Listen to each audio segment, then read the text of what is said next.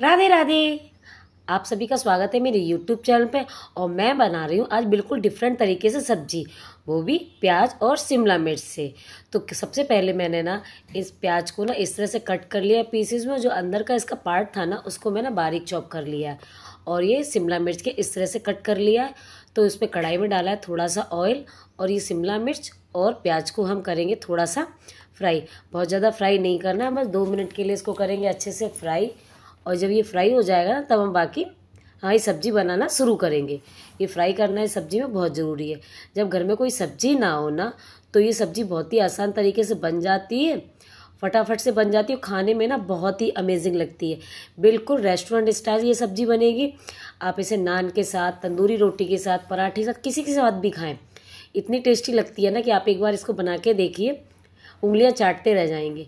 तो ये हमारी फ्राई हो चुकी है, इसको हम निकाल लेते हैं। और इसके बाद ना मैं यहाँ पे सब्ज़ी बनाना शुरू करूँगी। तो कढ़ाई में लेंगे थोड़ा सा तेल और उसके बाद करेंगे मसालों को हम फ्राई। ये मैं शिमला मिर्च और प्याज हमारा अच्छे से रोस्ट हो चुका है। कढ़ाई में डाला मैंने थोड़ा सा तेल और सौंफ। इसमें जीरा बिल्कुल भी ना डालें, सौंफ ही डालें और बारीक कटा हुआ प्याज।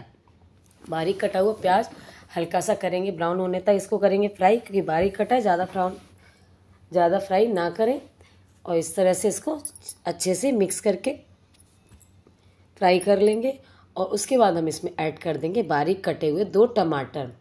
टमाटर से बनाएँगे इसकी ग्रेवी ज़्यादा ग्रेवी वाली सब्ज़ी ये नहीं बन रही है। इसके बाद हम बनाए, डालेंगे इसमें अदरक, लहसुन का पेस्ट जो दरदरा मैंने कूटा हुआ है, उसको ऐड करेंगे और सभी चीज़ों को करेंगे अच्छे से मिक्स साइड में इसमें हम रखेंगे थोड़ा सा बॉईल होने के लिए पानी। इस सब्ज़ी में हम बॉईल पानी का इस्तेमाल करेंगे। नॉर्मल पानी का इस्तेमाल नहीं करना है बॉयल पानी का इस्तेमाल करें।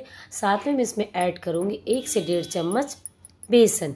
बेसन को अच्छे से इसी में भून लेंगे, क्योंकि अभी इसमें ऑयल है, बाकी मसाले इसमें ऐड नहीं किए। ये इसी में अच्छे से भुन जाएगा, अलग से भुनने की ज़रूरत नहीं है। इससे ना कि सब्ज़ी में एक अलग ही फ्लेवर आएगा, जो कि खाने में ना सब्ज़ी की स्वाद एक डिफरेंट तरीके का स्वाद इसमें दिलाएगा। इससे अच्छे से करेंगे, भून लेंगे। इसको इसी में अच्छा सा इसमें कलर आ गया है। बस बेसन भी हमारा अच्छे से भुन चुका है। अब हम डालेंगे इसमें बाकी मसाले। इसमें डालेंगे थोड़ा सा हल्दी पाउडर थोड़ा सा धनिया पाउडर, लाल मिर्च पाउडर थोड़ा सा डालेंगे इसमें चाट मसाला। चाट मसाले से ना इसका फ्लेवर बहुत ही अमेजिंग आता है और नमक डालेंगे स्वाद अनुसार। और इन सभी चीज़ों को करेंगे अच्छे से मिक्स और मिक्स करेंगे, उसके बाद थोड़ा सा इसको पकाएँगे और अच्छे से इसको पकने के बाद ना ये सब्ज़ी इतनी अच्छे से जल्दी से बन जाती है ना कि टाइम का पता भी नहीं चलता। आपको ब्रेकफास्ट में बनानी है तो आप आराम से बच्चों के टिफ़िन में बना सकते हैं। खाने में बहुत ही अमेजिंग लगती है। या फिर आप डिनर बना रहे हैं, कुछ समझ में नहीं आ रहा है क्या बनाए घर में कोई सब्ज़ी नहीं है ना तो इस सब्ज़ी को ज़रूर एक बार ट्राई करें। बहुत ही जल्दी बन भी जाती है और खाने में बहुत ही डिलीशियस लगती है। अब मैंने यहाँ पे डाला है आधा कटोरी दही। मीठे दही का इस्तेमाल करें, अच्छे से इसको फेंट के मैंने इसमें ऐड कर दिया और अब ना ग्रेवी को लगातार चलाते रहेंगे, जिससे कि ये दही कहीं फट ना जाए। अगर जब एक बॉयल आने के बाद इसको चलाना बंद कर दें और आराम से उसके बाद सब्ज़ी बनाएँ, लगातार चलाते रहेंगे ना तो एक सारी चीज़ें मिक्स भी अच्छे से हो जाएँगी और दही फटने का कोई टेंशन भी नहीं रहता। इन सब चीज़ों को करेंगे अच्छे से मिक्स और एक उबाल आने तक इसको पकाएँगे। ये सब्ज़ी ना एकदम खा डिफरेंट तरीके से बन रही है। रेस्टोरेंट स्टाइल में हम जब बाहर जाते हैं ना, बाहर ऑर्डर करते हैं जो सब्ज़ी कई शिमला मिर्च, प्याज की सब्ज़ी, बाहर भी खूब मिलती है। लेकिन आप इस तरह से बनाएँगे ना तो आप बाहर की सब्ज़ी खाना ना, ये वाली भूल जाएँगे।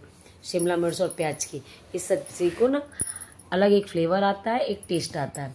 और बरसात के मौसम में ना सब्ज़ियाँ बहुत कम आती हैं तो ये सब्ज़ी ना बहुत ही अच्छी लगती है। और टेस्टी भी लगती है और ज़्यादा इसमें सामान की ज़रूरत भी नहीं पड़ती।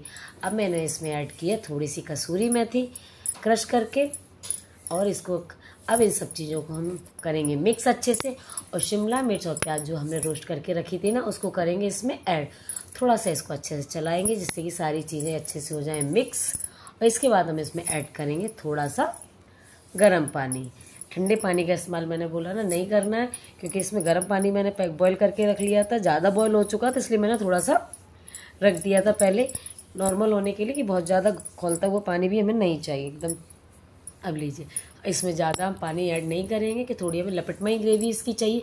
अगर आपको चावल खाने हैं कुछ और तो ज़्यादा ग्रेवी चाहिए तो आप इसमें थोड़ा सा पानी और भी ऐड कर सकते हैं। लेकिन इसका टेस्ट में कोई फ़र्क नहीं पड़ता पानी ज़्यादा डालने से।